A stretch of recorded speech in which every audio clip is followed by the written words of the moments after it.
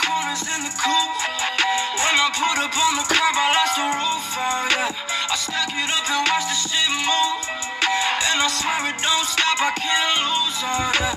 I woke up, got straight to the money. Now I got a couple bands by my tummy. Oh, yeah. I woke up, got straight to the money.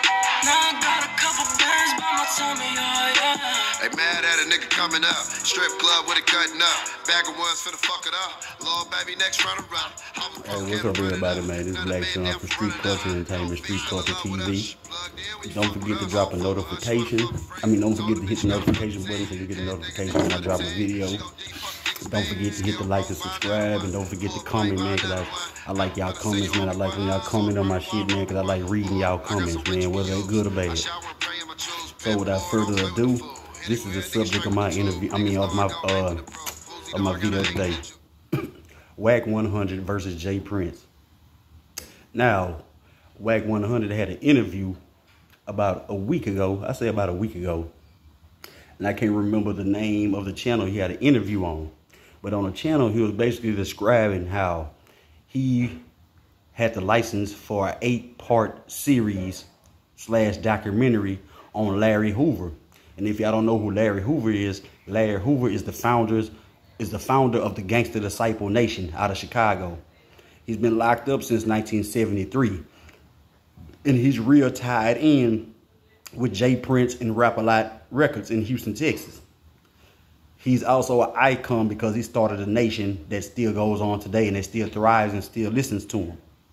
Now, the thing Wack 100 was saying was that he had five hours of footage of interviews and visits and phone calls of Larry Hoover. Now, he's saying that he talked to J Prince Jr. and J Prince Jr. was like, let let his daddy get the footage because they're real tied in because J Prince is fighting real hard to get Larry Hoover freed. And he's been fighting for 20 some years. If you listen to the old Geto Boys Resurrection album, you hear J Prince having conversations with Larry Hoover on the Resurrection album by the Geto Boys. So when he told him no that he couldn't get the footage, that J Prince told Larry Hoover Jr. to not work with him. And he's basically saying that J Prince, this is his quote, J Prince had his hand in a pot that didn't belong to him. He's just trying to get a piece of it. And he was saying that he's not scared of J Prince or anybody that yell mafia and rap a lot that is bullshit that he's not scared of it. Okay. Which, you know, he has a right to. He has a right to not be scared. And he told J Prince that if he wanted to be involved with it, then the only thing they needed done was some editing so he can hire an editing company and they can discuss his percentage. they can discuss this they can discuss his percentage about the situation. And so he say when you ask J Prince and J Prince's team, do y'all have a movie? Do y'all have a script? Do y'all have a production company signed that everybody was quiet?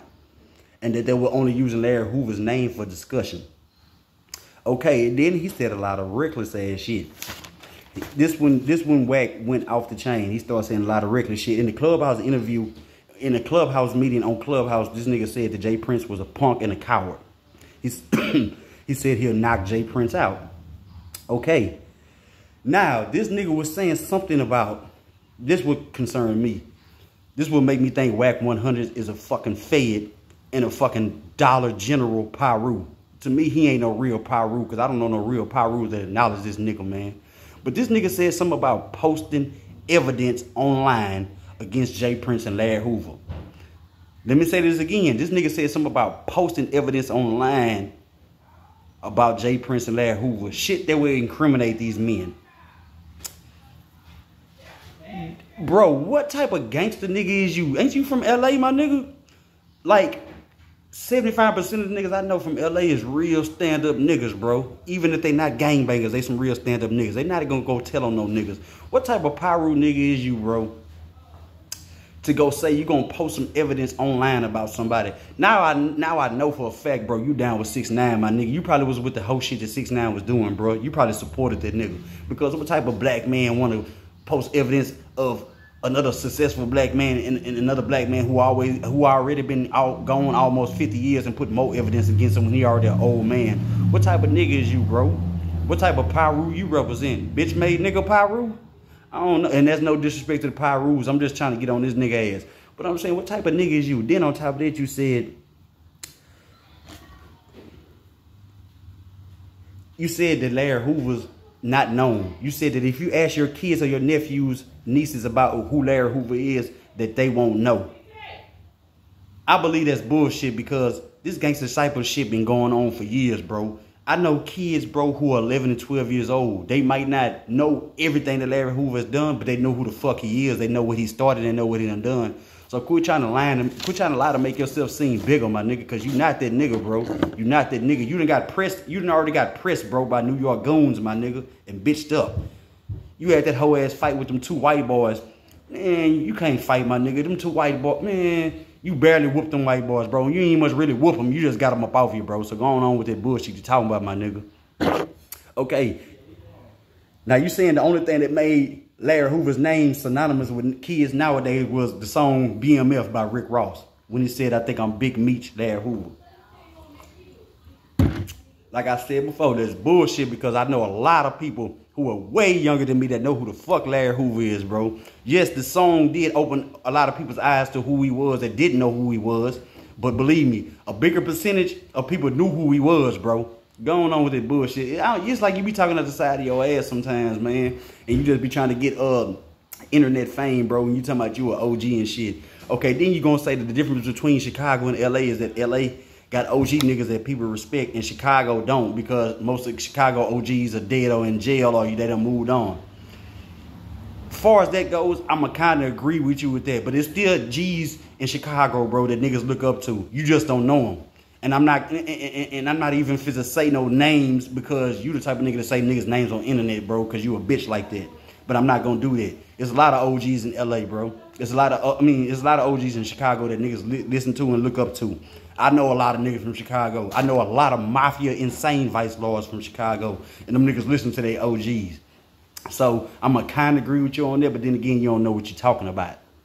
Okay, now for J Prince's response, J Prince said this, y'all. I'm gonna let y'all hear what J Prince said.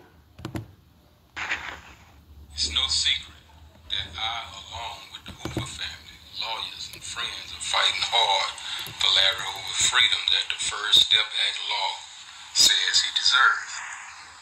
Meanwhile, this dude Wack and Karen Chapman has taken a position to work against the Hoover family by trying to monetize off his name and withhold footage that could contribute to his freedom. Now y'all heard that.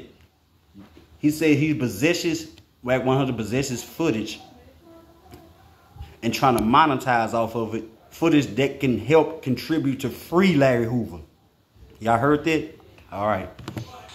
So if it's one thing this whack dude is telling the truth about, is that I don't fuck with him. When I was in LA talking to this lying ass nigga, never once did he take the position he was partners in the theft of the Hoover families like he's doing on that rehearsed conversation with them clowns. Now, what he is not telling the truth about is why. So listen up.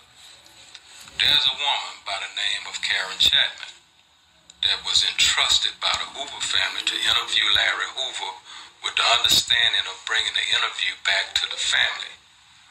She decided to run off with the interview and a fake fraud contract claiming Larry Hoover signed all his rights away for nothing. Larry Hoover is far from being a dummy, so for Wack and Karen to be taking a position on disrespecting the Hoover family by attempting to sell Larry Hoover likeness without the family permission is a mistake for whomever considering buying it. I've been around a long time and I know when someone is trying to set me up with police conversations. So I won't lip wrestle with you cake ass niggas on Clubhouse.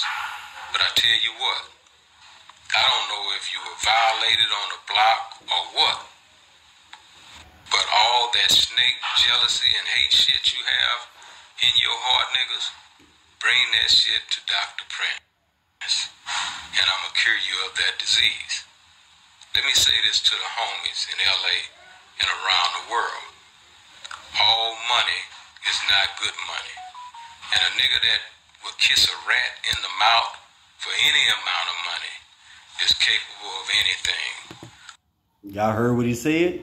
He said when a nigga is able to kiss a rat in the mouth, he is capable of anything. What I just said, he talking about 6 9 because that nigga Wack 100 be fucking with 6 9 the long way. And we all know what 6 9 did. We all know that nigga snitched. We all know that nigga was a bitch. So Aim much gonna elaborate what J Prince said. What he said is law. I can't even much elaborate on it, but I do know one thing, Wack. You can't keep disrespecting a man who has connections and been in the industry for 30 plus years and can make shit happen that you could never make happen in three lifetimes, bro. We look at J Prince as the pride of Houston. He was the first nigga that had a label in the South and put the South on his shoulders and put us out there. So you need to quit disrespecting the man because he does a lot for the community. You don't do shit but fuck people over, even your own homies, bro. Quit being a dollar a Dollar General Piru and be a man, my nigga.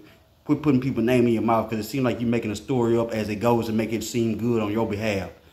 My name Black Shaan Groove, man. Street Kulture Entertainment, Street Kulture TV. Don't forget to hit the like and subscribe. Don't forget to hit the notification button to get notifications and also leave a comment on this shit, man. I'ma holler at y'all.